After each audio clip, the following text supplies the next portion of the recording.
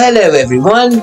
I'm here giving you breaking news. I'm news reporter Jack here in Harlem, New York, and I'm giving you breaking news about Nigeria. As you know, the Sunday school was taken to Nigeria by a backpack, and they're there for Easter, and they are going to give a presentation about Easter. Can't wait to see it. Hope you enjoy it. And also hear the squirrel.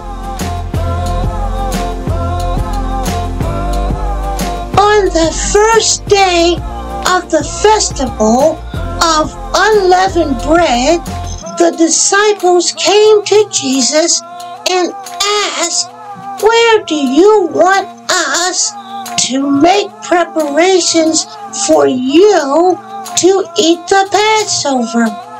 He replied, Go into the city to a certain man and tell him, The teacher says, My appointed time is near. I'm going to celebrate the Passover with my disciples at your house. So the disciples did as Jesus had directed them and prepared the Passover. When the evening came, Jesus was reclining at the table with the twelve. And while they were eating, he said, Truly I tell you, one of you will betray me.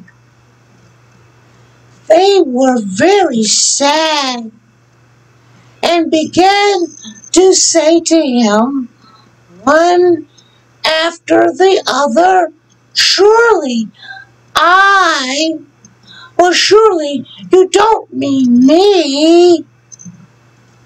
Lord, that's what they say. Jesus replied, The one who dips his hand into the bowl with me will betray me. So the Son of Man will go just as it is written about him. But woe! That man who betrays the Son of Man, it would be better for him if he had not been born. Then Judas, one of the twelve disciples, and this was the one who betrayed him, said, Surely you don't mean me, Rabbi. Jesus replied, You have said so. While they were eating, Jesus took bread and he went and gave thanks. He broke it and gave it to his disciples, saying, Take, eat, this is my body. Then he took a cup, and when he had given thanks, he gave it to it them, saying, Drink from it, all of you. This is my blood of the covenant, which is poured out for many for the forgiveness of sin. I tell you, I will not drink of this fruit of the vine from now on until the day when I drank it and when I drank it um anew with you in my father's kingdom. When they had sung, they went well, what happened was they went, they sung a hymn, and they went out to the Mount of Olives.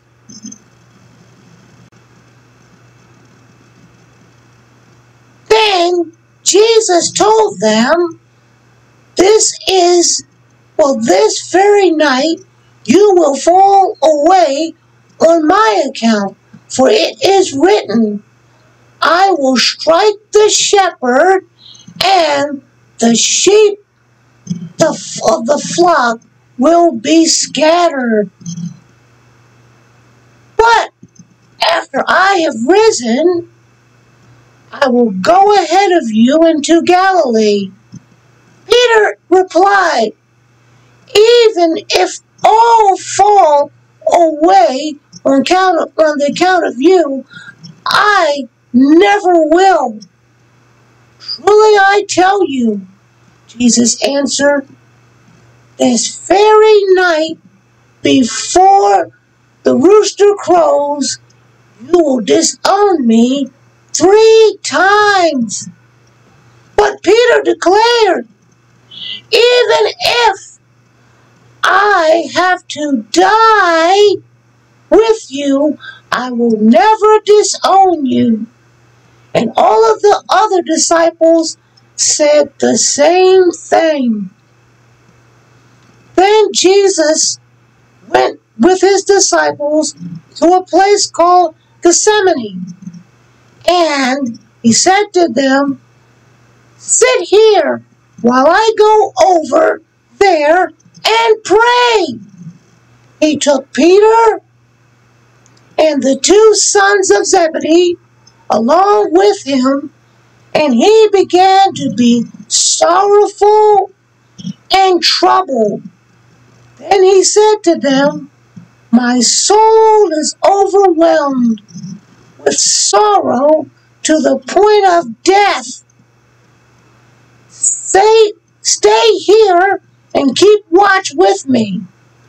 Went a little further, he fell on his face to the ground. Yeah, he fell on his face and prayed, My Father, if it is possible, may this cup be taken from me.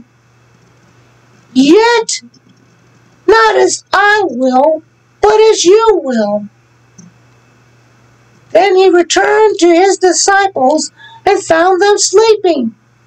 Couldn't you men keep watch with me for one hour? He asked Peter. Watch and pray so that you will not fall into temptation. The spirit is willing, but the flesh is weak. He went away a second time and prayed, Father, it is not, is it not possible for this cup to be taken away unless I drink it? May your will be done. When he came back, he found them sleeping because their eyes were heavy. So he left them and went away once more and prayed the third time, saying the same thing. Then he returned to his disciples and said to them, Are you still sleeping and resting? Look, the hour has come, and the Son of Man is delivered into the hands of sinners. Rise, let us go. Here comes my betrayer.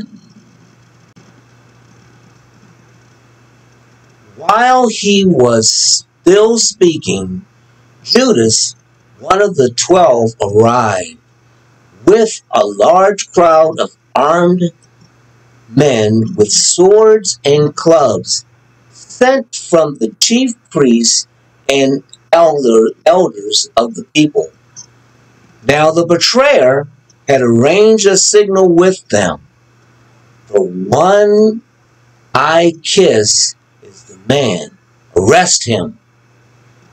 Going at once to Jesus, Judas said, Greetings, Rabbi, and kissed him.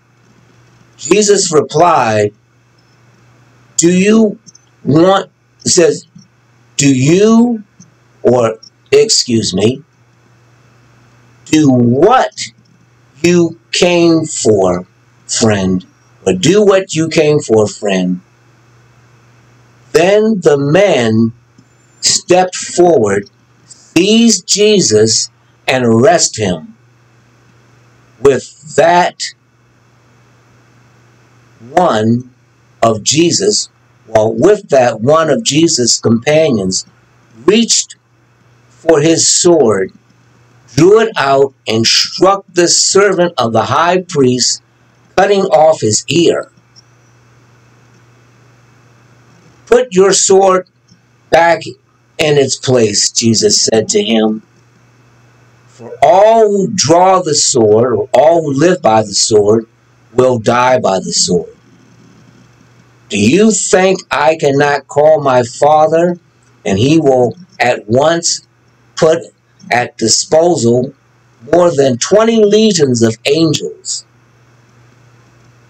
But how, then, would Scripture be fulfilled that it must be happen this way? In that hour, Jesus came, what, in that hour, I'm sorry, Jesus said to the crowd, I am I leading a rebellion that you have to come with swords and clubs to capture me? Every day I sat in the temple courts teaching and you did not arrest me. But this has all taken place that in that in the writings of the prophets might be fulfilled. Then all the disciples deserted him and fled. They were scared. Those who had arrested Jesus took him to Caiaphas, the high priest, where the teachers of the law and the elders had assembled. But Peter followed at a distance, right up to the courtyard of the high priest. He entered and sat down with the guards to see the outcome. The chief priests and the whole Sanhedrin were looking for false evidence against Jesus so they could put him to death. But they did not find any. Though many false witnesses came forward, finally, two came forward and declared, This fellow said, I am destroying the temple of God and will rebuild it in three days.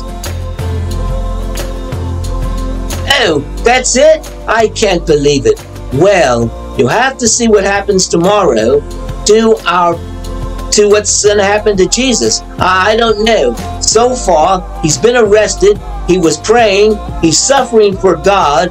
It's godly suffering.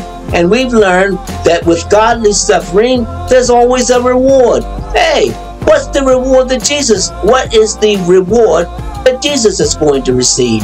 Eh, well, guess we'll have to find out. I'll see you later, guys. Eh, look for us tomorrow.